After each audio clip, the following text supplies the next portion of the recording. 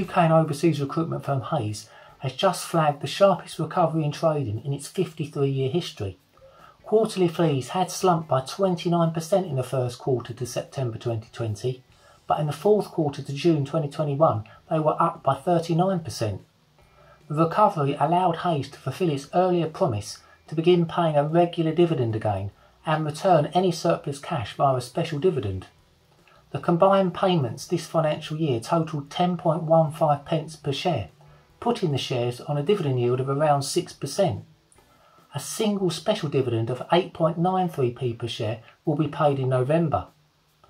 Full year operating profit fell by 30% to £95 million, but is expected to recover strongly in the years ahead.